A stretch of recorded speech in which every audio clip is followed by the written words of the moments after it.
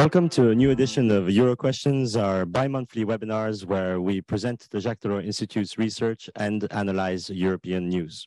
Today, we will be focusing our session on uh, the topic of cybersecurity and the risks and challenges it poses for the EU. And to discuss this topic, uh, we are delighted to greet uh, Arnault uh, Re Associate Research Fellow in Cybersecurity at the Jacques Delors Institute. Indeed, given the acceleration of the digital revolution and the exponential increase in the number of cyber attacks affecting nearly all sectors, reinforcing EU policies and legislations has to be an utmost priority for decision makers across Europe. The Russian invasion of Ukraine further emphasizes the importance of this. Cyber attacks aim to destabilize countries, targeting critical infrastructure, banking and financial systems, along with military and governmental networks. The Russian army has continuously relied on hybrid war warfare tactics, combining cyber attack with military action in Ukraine. Before handing over the floor to our speaker, I would simply like to remind you that the Q&A tool is available at the bottom of your screen. Uh, you can forward your questions uh, to our speaker and I will relay them in the second part of this 30-minute uh, webinar. Uh, without further ado, I hand the floor over to, to our speaker for today. So hello, everybody. It's a pleasure being here today. My name is Arnault Barichella. I am an associate research fellow in uh, so cybersecurity at the Jacques Delors um, Institute, and I have just written a paper on the cybersecurity dimension of the war in Ukraine, which will be the subject um, of my discussion uh, today. Uh, so it's first of all important to emphasize that there has been an ongoing cyber confrontation between Ukraine, the West, and Russia, at least since uh, the events of 2014, which led to the annexation of Crimea and the uh, outbreak of military conflict in the Donbass region. Indeed, the Russian-backed hackers have unleashed some of the most devastating cyber attacks in history over the last few years. Just to name a couple of examples, there was the NotPetya virus in 2017, which is uh, even up to this day uh, so considered to be one of the worst, if not the worst, cyber attack ever perpetrated. And uh, uh, so actually, uh, while it uh, uh so initially targeted Ukraine, it then spread globally. Then there were uh, uh, um, there was also the SolarWinds attack in 2020. Uh, that is still considered up to this day to be the worst cyber espionage um, operation ever to be launched against the United States, uh, Europe, uh, and NATO. and um, uh, even though uh, the problem uh, of attribution means that uh, it's very difficult to precisely determine who is responsible for these types of uh, cyber um, attacks, Western intelligence has confirmed that Russian-backed hackers are most likely behind them. So for these reasons, there was widespread uh, anticipation that the latest outbreak uh, of uh, military hostilities in Ukraine uh, in February uh, of, uh, of this year would lead to a new wave of devastating cyber attacks. While it's true that actually cyber security has played a key role in the Ukraine conflict, this has not unfolded in the way that many experts had um, anticipated. So firstly, in, um, in Ukraine um, itself, instead of large-scale uh, so cyber assaults being launched by, uh, uh, by the Russian military or Russian-backed hackers, we have seen a campaign of sustained uh, so cyber harassment since February, which has targeted not only governmental or military um, entities, but also the media, banking, uh, so financial um, institutions, as well as many different aspects of a, a civil uh, society as well. So what Russia has tried to do is to launch medium to low scale uh, cyber um, attacks as a form of harassment, um, often as part of uh, a symbolic or psychological warfare. Some examples uh, um, uh, include the posting of fake online videos of Ukrainian President Zelensky uh, um, asking the population to surrender. These were fake, of course, but these are just some examples of the, the types of uh, symbolic hackings which have been uh, so taking place. But another very important aspect of the war in Ukraine has been a Russia's decision to mobilize a form of hybrid uh, warfare, hybrid in the sense that uh, so cyber attacks have been uh, used in tandem and in combination with military strikes on the ground. And uh, uh, at least during the initial phase of the Ukraine war, these had actually been uh, fairly successful for for Russia, and uh, uh, which means uh, that um, the war in Ukraine, in many ways, represents the first truly hybrid military conflict. So, in terms of the European and the international dimension, um, there was, of course, widespread um, apprehension that the war in Ukraine would lead to a series of uh, devastating Russian cyber attacks on, uh, on Europe and on the West more generally. It is true that Russia has targeted a number of countries in Europe, especially in Eastern Europe, like Poland and Romania, that have served as key transit uh, routes to deliver military material uh, to Ukraine. They've also served as key bases to welcome refugees.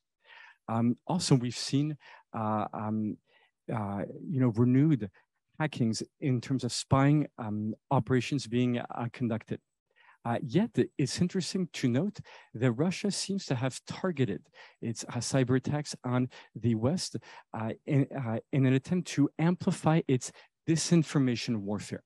Indeed, there is evidence that despite the banning of Russian TV networks like, like Sputnik or Russia Today, Russia has sought to find new ways uh, to accelerate its disinformation campaigns uh, um, against the West. Now, it's it's difficult to uh, to determine uh, exactly what impact these have had. Yet, there are a number of opinion surveys which seem to show that opinion in Europe has begun to fracture over the Ukraine war, and that a majority of people in Europe now seem to be opposed to a long and protracted warfare as the economic costs of supporting Ukraine have become more apparent. So um, now uh, uh, you might be wondering, why has the cyber security dimension of the war um, in Ukraine not turned out in the way that many had um, anticipated? So the first and the foremost factor has been a remarkable resilience, uh, a remarkable uh, uh, so cyber resilience on the part of Ukraine. It's it appears like Ukraine has uh, learned from past mistakes and has invested considerable resources and efforts in terms of bolstering its uh, uh, cyber defenses over the last few years. In this regard, Ukraine has, of course, received notable support from NATO, Europe, and from the United States. Yet another factor has also been linked to the relatively poor preparation of Russia's cyber offensive against Ukraine.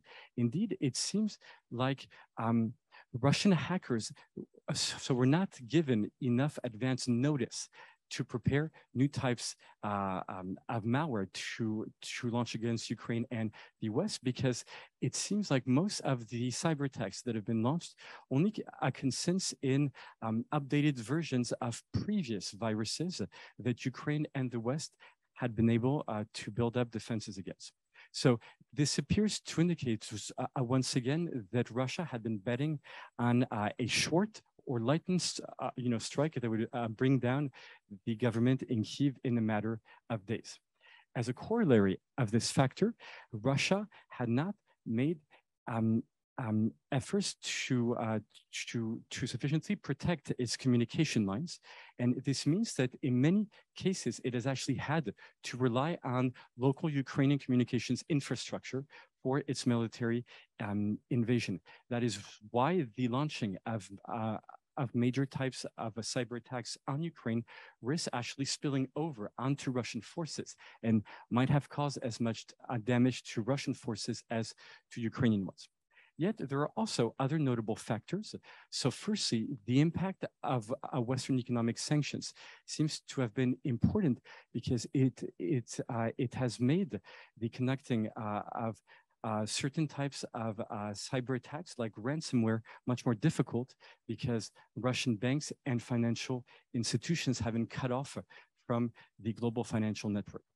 Also, another factor is uh, the brain drain of, Russian IT professionals. In, indeed, since uh, the beginning of the war, close to 100,000 Russian IT um, experts have left Ukraine. That's up to 10% of Russia's um, IT workforce, and uh, especially one, th one third of the younger generation of of Russian IT experts, which raises questions in terms of Russia's ability to uh, continue performing in this vital sector in the future. And the final factor which I like to emphasize is the fear of retaliation. Indeed, NATO um, has made clear that uh, uh, a cyber attack on uh, a member country would lead to a devastating response. Uh, given that Russia uh, has already faced uh, many difficulties uh, in its invasion of Ukraine, it seems to have been a risk that it has not been willing to take, at least for the time being. This is especially true since uh, NATO has indicated on a number of occasions that a major uh, cyber attack on a member country could lead to the triggering of Article 5, whereby an attack on one is considered to be an attack on all.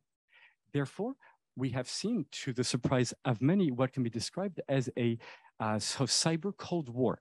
Uh, since last February, both sides have been probing the possibilities of launching more serious types of attacks, yet this has not yet materialized for the time being. But it should be noted that the risk of escalation is genuine and should not be underestimated. Indeed, uh, so many analysts have said that President uh, Putin sees the war in Ukraine as one that, that he cannot afford to lose. Indeed, yesterday, he, uh, uh so President Putin has once again threatened to use nuclear weapons due to the situation in Ukraine. Although many fear uh, uh, a nuclear war, the prospect of that happening still remains low due to the risk of mutually assured destruction. A much less perilous uh, strategy for Russia might be instead to launch a full-scale cyber assault on, on the West, despite the risk of retaliation and despite the risk of these attacks also spreading uh, into Russia um, itself. That is why it is essential for Europe not to let down its, uh, its guard and to continue reinforcing um, its assistance to Ukraine. One way, so the European Union has been doing this is through these, uh, the cyber rapid response teams, which have proven effective um, up until now, and it's essential to reinforce these in the coming months. Also, it's essential for Europe to, to, to prepare itself against the possibility of uh, direct and large-scale cyber attacks targeting member states of the European Union itself, as has happened over the last few years. So Europe has enacted a number of important policies and legislation in this field over the last uh, a few years, uh, the most notable of which is uh, the NIS directive, as well as the EU Cyber Security Act in 2019.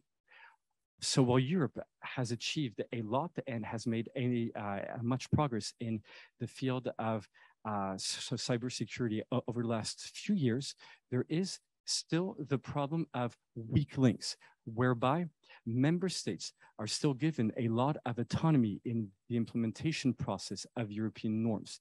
This has led to uh, a framework uh, so whereby the efficiency of cyber norms across member states is highly variable.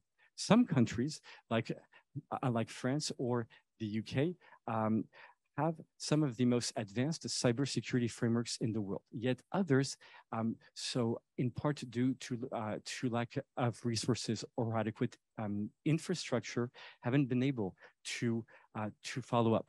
This is why it is essential for Europe to reinforce the harmonization of, of norms at the EU level. Two, uh, two notable pieces of legislation have been introduced recently. One is the NIS2 directive, and the other is the, e the, the EU uh, Cyber Resiliency Act. Both uh, constitute notable um, improvements but they unfortunately they unfortunately still do not go far enough in terms of what needs to be done uh, to tackle the problem of of weak links. The problem of weak links uh, is a real issue because member states that have the least developed frameworks in terms of uh, cyber uh, security may constitute um, doors where viruses um, can, can, uh, can penetrate Europe before spreading uh, to infect other member states and potentially impacting the entire network. Thank you very much for, for this presentation. Uh, I'd like to jump straight away in the in the questions. Uh, maybe first question, uh, you ended up on uh, talking about um, European uh, European Union uh, reforms in the domain of cybersecurity. could you detail a little bit more the NIS and the NIS2 directives? Absolutely. So the NIS and NIS 2 directive constitute the two main pieces of legislation at the EU level for the protection of critical infrastructure. They are uh, very uh, important uh, pieces of legislation uh, that have gone a long way in terms of establishing common EU norms in the field of uh, cyber uh, security. Yet even the latest NIS 2 directive may not go far enough in terms of what needs to be uh, done to address the problem of weak links, but it's still uh, a clear step in the right direction. Thank you very much. Another question you talked about uh, NATO, about uh, uh, potential uh, uh, use of Article 5 in case of cyber attacks. one interesting question we're getting is, is Europe also, in, in addition to um, putting in place defensive strategies against cyber attacks, is Europe developing offensive strategies in terms of cyber, cyber attacks? Absolutely. So I would say that these types of offensive strategies would apply more to member states like, like France or the UK uh, or uh, the United States, which are the foremost military powers in the NATO um, alliance. And yes, absolutely. Uh, it is um, it is very uh, important to have uh, a credible dissuasion force to be able to tell Russia if you attack us, we will retaliate. And it's worked because, as I said uh, before, there has been a sort of, uh, of cyber Cold War that has emerged since last February. And both sides have, for the time being, held off on launching uh, you know, major assaults on one another in the cyber realm. Another another question uh, regards uh, the brain brain drain you mentioned of uh, young uh, Russian hackers. Um, why is that? Is that due to non-political alignment, or is it other reasons? Do you think? I think uh, there uh, could be political factors, but especially for for young Russian IT um, experts, I think that that the main factors might be economic. They might see that due to these sanctions, which uh, you know seem to be having a real impact on, on Russia's economy, they risk not having a professional future uh, in Russia. Yet Russia has up until now had one of the world's most advanced IT sectors, and so these people have uh, have uh, you know made the decision to go to other countries. I think in search of a better life and of better professional opportunities but there might have also been a, a political factor that is very hard to determine. Of course. Um, maybe I'd like to extend uh, extend the, the topic a little bit here. Uh, obviously, we talk a lot about Russia given uh, the war in Ukraine. Uh, at the moment, um, participant is asking, is Russia considered a bigger threat than China for the EU slash NATO in terms of uh, cybersecurity and cyber attacks? I would say that yes, yes, for a number um, of reasons. Uh, so Europe isn't directly involved in any conflict with China, at least not directly. There is the situation in uh, uh, Taiwan. There uh, is criticism towards what is happening towards the Uyghurs, uh, but there is no, uh, you know, direct confrontation as there is with Ukraine on, you know, on Europe's doorstep.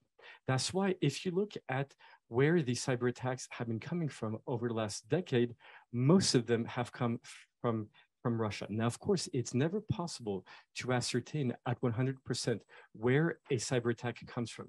Yet there, uh, there is a very high certainty that, uh, you know, um, either, uh, you know, um, a, a hacker groups backed uh, by the Kremlin or directly Russian security or military entities like the FSB have been responsible for the types of uh, cyber attacks uh, that have hit uh, Europe uh, and North America over the last decades, some of which, like uh, um, the uh, the NotPetya, or even the the Colonial Pipeline, um, a couple of years ago, are amongst the most devastating cyber attacks to ever have impacted the West.